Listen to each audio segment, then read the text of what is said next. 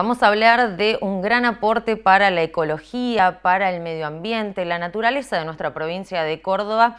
Es un libro que se está presentando, se titula Peces de Córdoba y estoy acompañada por algunos de sus autores porque es un gran grupo que ha trabajado intensamente para que esta publicación sea posible. Los voy a presentar a continuación. Ellos son Víctor Salinas, Miguel Mancini. Buenas tardes, ¿cómo están? Bienvenidos. Buenas tardes, Vanessa, ¿qué tal? Es un gusto para nosotros que estén aquí presentando esta publicación que la tenemos acá en nuestra mesa. ¿Cómo surge la idea de eh, brindar un aporte a la sociedad de Córdoba hablando un poco de nuestra fauna?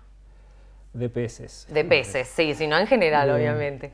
Bueno, este libro surge como una necesidad de actualizar la base de datos de peces de la provincia de Córdoba Después de un tiempo que se había editado otro libro similar en la Universidad Nacional de Córdoba a través de dos reconocidos autores, Gustavo Aro y María de los Ángeles Bistoni, como una forma de contribuir en la provincia, primero, a saber qué riqueza de peces tenemos en todo el territorio provincial y segundo, qué estado de categorización tiene cada especie ya que hemos hecho una especie de ponderación con distintas variables para ver cada una de esas especies en qué estado se encuentra.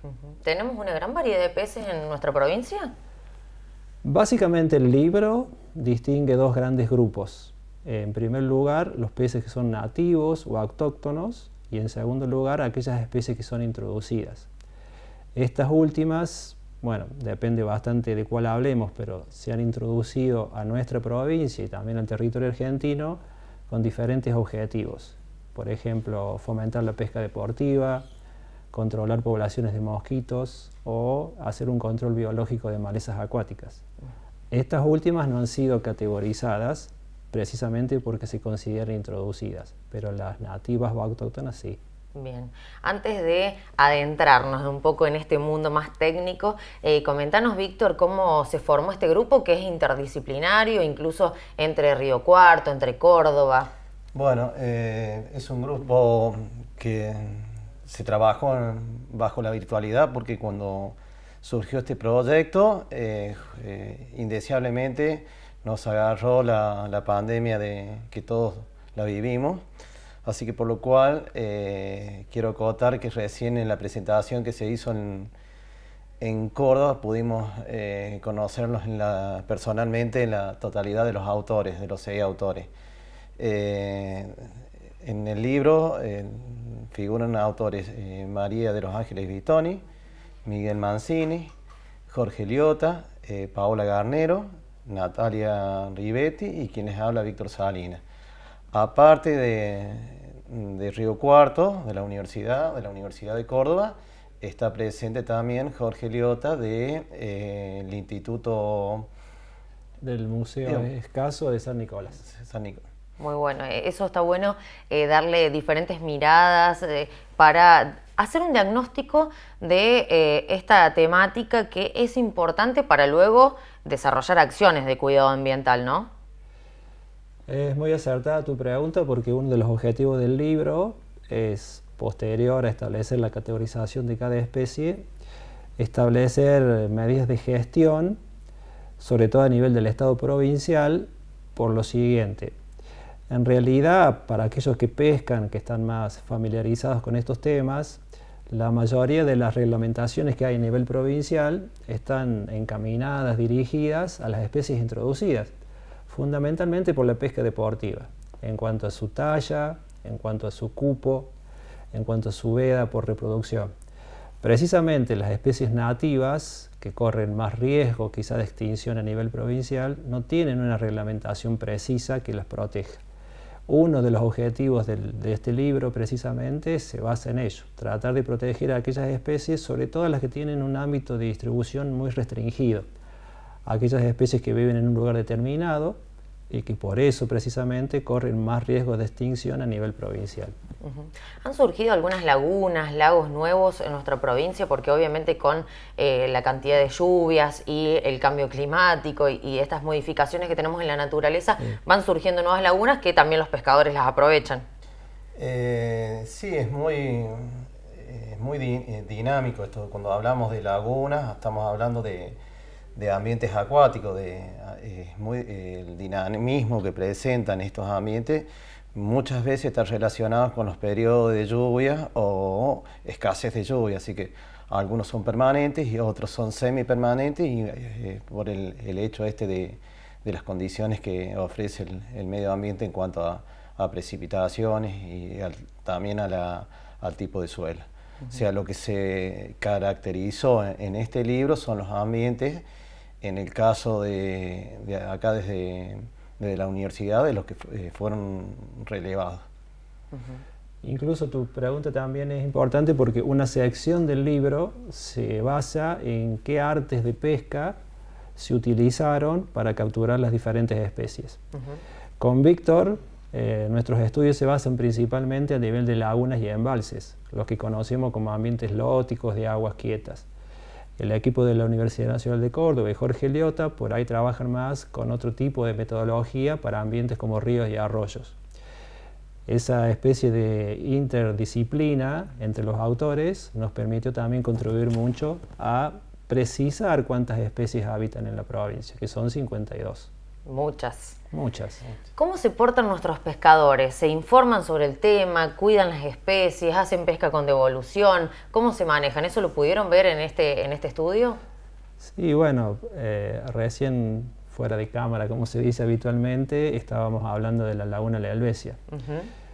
Nosotros tenemos mucha experiencia en ese ambiente porque durante dos años evaluamos el rendimiento pesquero de la laguna y para ello había que hacer censos a los pescadores para ver cuánta cantidad de peces extraían y qué peso tenían esos peces. A mucha gente le, gusta eso porque es como un sinónimo de conservación del pejerrey, de ese recurso para la laguna, pero otra gente se siente molesta. Para ser concreto con la respuesta, eh, hay pescadores que están de acuerdo, que cuidan, y otros que son meramente extractivos, que les interesa sacar mucho para justificar quizá el viaje y tener mayor consumo de proteína. ¿Está bien esta práctica de marcarlos, por ejemplo, a los, peces que eh, se pescan, se devuelven para hacer esta identificación? ¿Es una práctica que tienen por ahí los pescadores? Para los estudiosos, los investigadores, ¿esto está bien o está mal? Todavía en los estudios que llevamos eh, realizados no hemos utilizado este, esta marcación que se hace como se, se realiza con los peces del Paraná o con algunas especies ícticas de, la plataforma continental marítima. Sí, por ahí tratamos de utilizar últimamente eh, artes de pesca como la trampa de peces, que si no hay que tomar muestras muy grandes de algún ejemplar en particular, lo que se hace es devolver esos peces vivos al agua. A lo mejor se hace un reconocimiento de la especie, se puede hacer una sedación del pez para que no sufra, se pesa, se mide, se saca alguna escama y luego se libera viva el agua. ¿sí? Eso es como una forma de conservar también el recurso pesquero. ¿Y han tenido la posibilidad de interactuar con los organismos gubernamentales, aquellos que delimitan las políticas justamente de cuidado, de conservación, para que estos aportes obviamente lleguen a manos de quienes tienen que tomar las decisiones también? Sí, bueno, eh, como dijimos al inicio, eh, esta obra surge por un pedido de la provincia para categorizar no solamente peces, sino diferentes grupos de, vertebrados. El, libro está hecho, la categorización ya se ha concretado, falta ahora un poco eh, intercambiar ideas a nivel provincial, sobre todo Secretaría de Ambiente, para ver cómo sigue de aquí en adelante esto. El primer paso está dado, el segundo paso quizás sea más cobre más protagonismo la provincia. Ojalá entonces. Ojalá. Finalmente, ¿cómo hacemos para conseguir el libro? Para poder leerlo, ¿está en alguna plataforma digital, solamente en formato papel? Lo que quiero aclarar es que el libro es, está hecho o realizado en un, en un lenguaje, por así decirlo, que puede ser eh, básicamente leído desde estudiantes, desde público en general, como también investigadores, o sea que no presenta un elevado tono científico, sino que se hizo pensando para un público en general. Eso es re importante. ¿Y cómo lo podemos, eh, cómo podemos acceder a este libro? Comercialmente se vende en algunas librerías de Río Cuarto, no podemos dar el nombre por una cuestión obvia. Y también hay una versión online, que bueno, nosotros no las disponemos aún, pero creo que conectándose vía internet uno puede adquirir el libro y verlo de manera eh, virtual. Perfecto. Bueno, muchas gracias por haber venido y espero que realmente tenga el alcance que esto merece. Bueno, muchísimas gracias a ustedes por la nota, por la atención, por preocuparse siempre por estos temas y de, bueno, de nuestra parte para lo que necesiten. Muy atentos. De esta manera, entonces, les presentamos esta nueva publicación, Peces de Córdoba, Ecología y Estado de Conservación. Es la forma de las universidades, las instituciones públicas, la investigación, la ciencia, la técnica, de aportar al bienestar general de nuestra provincia de Córdoba.